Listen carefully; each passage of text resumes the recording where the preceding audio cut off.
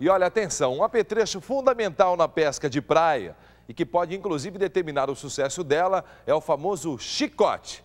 E fazer um chicote pode se tornar uma interessante atividade para desenvolver aí as habilidades manuais. Tome nota! Para fazer o chicote será preciso de dois rotores, um saque rápido, quatro miçangas e dois tipos de linha, a principal e a segunda linha. Bom, nós vamos agora aprender aqui a confeccionar um chicote ou rabicho, que alguns chamam, usa com o nome de saque rápido, ou seja, utilizando um rotor, que é esta pecinha aqui de aço, de saque rápido. Nós vamos apresentar a vocês um modelo, que é esse aqui, com um metro e meio mais ou menos, usado basicamente em caniços acima de 3,60 metros, 3,60 a 4,20. Quando você tem um caniço menor, de 2,70 até 3,30, normalmente se usa esse tipo de chicote com 1,20m em média. Após a medição aqui, eu preciso fazer um nó, que é o nó que nós podemos observar aqui, que é o que vai ser responsável por guardar a nossa chumbada. Bom, então agora vamos fazer na própria linha que nós cortamos e medimos, né? A nossa laçada para colocação da chumbada.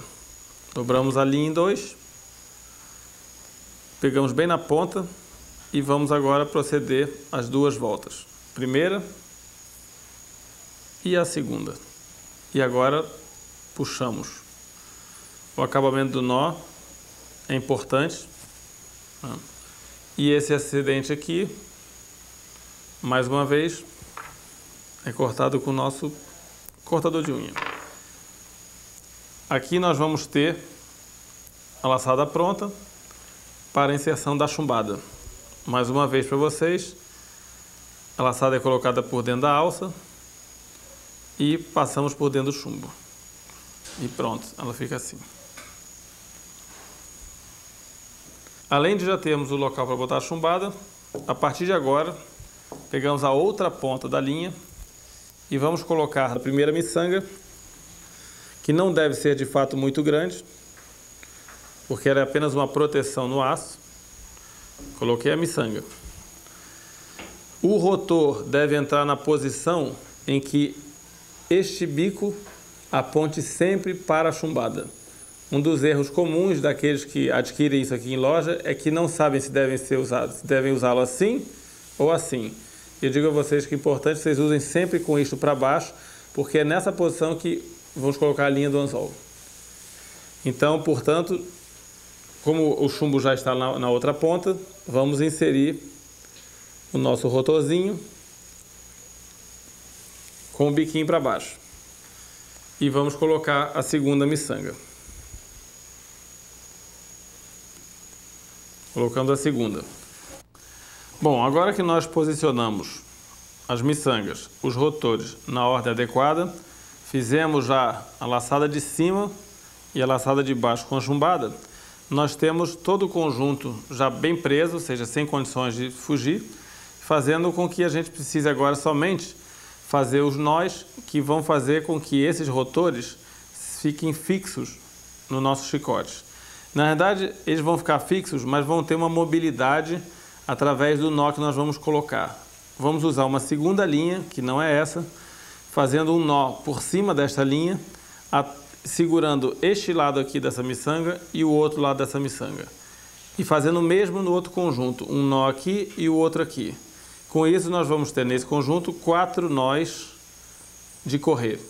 Esse é o nome dado, um nó de correr, porque ele vai correr um nylon por sobre o outro fazendo com que possamos posicionar a nossa base, onde vai ser colocado o anzol, por todo o nosso chicote.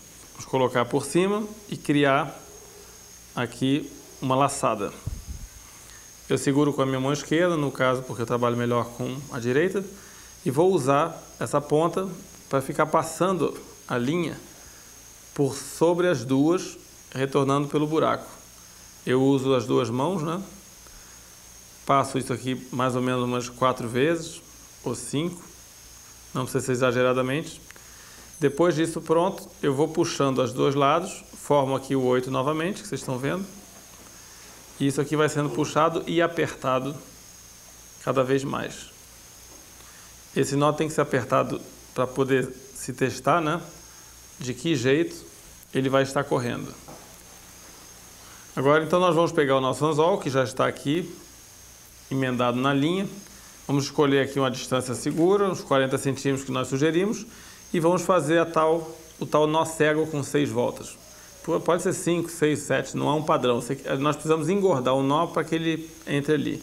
Então, passamos uma vez, duas vezes, três vezes e assim por diante. Quatro, cinco, achando que o nó já está devidamente gordinho, né? Nós vamos começar a apertar e deixá-lo desta forma, bem gordinho, né? E com o auxílio, mais uma vez, do nosso cortador de unha, deixamos a beiradinha. E agora, com este nó engordado, vamos de novo para o nosso rotor, inserir esse nó por esse buraco aqui, esse triângulo, desta maneira, seguramos a ponta inferior e fazemos com que a linha venha parar aqui nesse, nessa pontinha aqui, com uma pressão, até um barulhinho. A linha veio parar aqui embaixo. Ou seja, o, a linha que segura o anzol permanece aqui, tendo o seu giro liberado. O anzol continua girando.